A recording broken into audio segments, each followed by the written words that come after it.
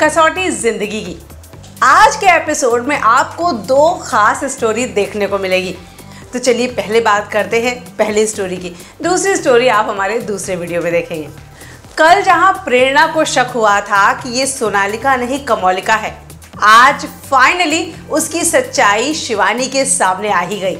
जहाँ शिवानी ने देख लिया कि सोनालिका अपने भाई से बात कर रही है। ये वही भाई है जो कमौलिका का भाई है। काफ़ी एपिसोड पहले हमने आपको बताया था कि एक दिन सोनालिका ये गलती ज़रूर करेगी। अपने भाई से बात करती हुई या उससे मिलती हुई पकड़ी जाएगी। क्योंकि सभी को पता है कि रौनित कमौलिका का भाई है। तो भला उसे सोनालिका क्यों बात कर रही है? ये सब कैसे होता है? चलिए बताते हैं आपको। एपिसोड की शुरुआत में आप देखेंगे सोनालिका की ओवर एक्टिंग कि पूछिए मत। इतनी ज़्यादा टेंशन इतना ज़्यादा नाटक वो बर्दाश्त नहीं कर पा रही है ना, क्योंकि उसके अंदर तो है कमौलिका अब कमौलिका प्रेरणा और अनुराग को एक दूसरे के करीब जाते हुए कैसे बर्दाश्त कर सकती है? और अनुराग प्रेरणा की केयर कर रहा है। अनुराग प्रेरणा की इसलिए केयर कर रहा है? क्योंकि वो प्रेग्नेंट है। और वो उसी की बातों में रहता है और वो सोनालिका से कहता है कि तुम्हें प्रेरणा को इस तरह काम नहीं देना चाहिए। सोनालिका और नाराज़ हो जाती है और उसके बाद अनुराग सुबह सुबह प्रेरणा को फ़ोन करता है। वो उसके बच्चे को लेकर बहुत परेशान है। और ऐसे में वो उसे कहता है कि उसे उस तरह से डांटना नहीं चाहिए था, क्योंकि कल के एपिसोड में आपने देखा कि अनुराग ने प्रेरणा को डांटा था कि उसे अपने बच्चे का ख्याल रखना चाहिए। और आज सुबह वो प्रेरणा को फ़ोन करता है और कहता है उसे उस तरह डांटना नहीं चाहिए। लेकिन बच्चे के बारे में सोचकर वो बहुत परेशान हो गया था। उसे बच्चे बहुत पसंद हैं। ऐसे में प्लीज़ वो अपनी केयर करे। प्रेरणा को सुबह सुबह अनुराग का फ़ोन बहुत अच्छा लगता है। उसे लगता है कि किस तरह अनुराग इस बच्चे की केयर कर रहा है, जो उसे पता भी नहीं है कि ये उसी का बच्चा है। खैर, अनुराग का फ़ोन कट होता है और प्रेरणा के दिमाग में फिर से सोनालिका, कमौलिका कमौलिका, सोनालिका। बहुत कंफ्यूज हो गई ये प्रेरणा, क्योंकि उसे ऐसा लगता है, जब भी सोनालिका उसके सामने आती है, उसे ऐसा लगता है जैसे कमौलिका आ गई हो। वही बातें, वही और वही एटीट्यूड वैसा ही गुस्सा। वो ये बात अपनी बहन शिवानी से शेयर करती है। शिवानी कहती है, ऐसा कैसे हो सकता है? लेकिन प्रेरणा कई सारी चीज़ें बताती है। शिवानी को थोड़ा डाउट होता है और वो प्रेरणा को कहती है कि वो इसमें उसका साथ देगी, उस पर नज़र रखेगी। और तभी, जैसे कि हमने आपको कल बताया था कि मोहिनी को उसकी फ्रेंड के यहाँ जाना है, उसके बेटे की सगाई है। और ये बेटा शिवानी का भी दोस्त है, यानी प्रेरणा की बहन का दोस्त है। वो शिवानी को फ़ोन करता है और अपनी इंगेजमेंट में बुलाता है। शिवानी प्रेरणा को भी इंसिस्ट करती है चलने के लिए और फाइनली प्रेरणा शिवानी को मना नहीं कर पाती। और उसी एंगेजमेंट में, उसी पार्टी में शिवानी और प्रेरणा भी पहुँचते हैं, जहाँ पूरा बासु परिवार आया है।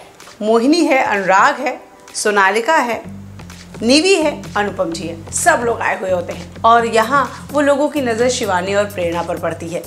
जहाँ सभी को थोड़ा अटपटा लगता है, लेकिन सोनालिका ओ माय गॉड उसके तो गुस्से का पारा सातवें आसमान पे पहुँच जाता है। कमौलिका, इतनी गुस्सा हो गई है। कमौलिका चाहे जितनी भी कोशिश कर ले, प्रेरणा और अनुराग को एक दूसरे से अलग करने की लेकिन कहीं ना कहीं नियति से इन्हें मिलाने की कोशिश कर रही है। और यहाँ देखिए ना, इसी फ़ंक्शन में एक बार फिर से प्रेरणा और अनुराग। जैसे ही वो दोनों एक दूसरे को देखते हैं, बस देखते ही रह जाते हैं। और अनुराग यहाँ पे प्रेरणा की बहुत केयर करता है। वो प्रेरणा के लिए एक चेयर भिजवाता है कि वो आराम से उस जगह बैठ जाए। ये बात शिवानी को भी बहुत अच्छी लगती है। लेकिन ये बात सोनालिका को उतनी ही ज़्यादा इरिटेट करती है। अब यहाँ फिर से आपको सोनालिका की ओवर एक्टिंग देखने को मिलेगी। भाई एक बात बताओ, संगीत में से सेड्यूस कर देने वाला डांस कौन करता है? यहाँ सोनालिका एक ही मोटिव में लगी हुई है। सिर्फ़ अनुराग का प्यार पाना। उसके साथ जिस तरह का हॉट और सेक्सी डांस करती है, लेकिन आप नज़र रखिए, हमारे अनुराग को इसमें कोई इंटरेस्ट नहीं है। वो जितना उसके करीब जा रही है, सोनालिका जितना अनुराग के करीब जा रही है, अनुराग उतना ही इरिटेट होता है। वो बचने की कोशिश करता है, उसे दूर जाने की कोशिश करता है। लेकिन क्या करे? उसकी पत्नी है। यहाँ सोनालिका प्रेरणा को जानबूझ के दिखाने के लिए अनुराग के करीब जाती है। उसके साथ एक हॉट और सेक्सी परफॉर्मेंस देती है। प्रेरणा को जो कि अच्छा नहीं लगता, पर प्रेरणा कुछ कह नहीं पाती। और ना ही ये चीज़ें अनुराग को अच्छी लगती हैं। प्रेरणा के दिमाग में सिर्फ़ एक ही बात चल रहा है कि वो सिर्फ़ और सिर्फ़ सोनालिका पर नज़र रखे, क्योंकि वो हु बहू कमौलिका है। अचानक प्रेरणा देखती है, फिर से एक बार सोनालिका में कमोलिका को।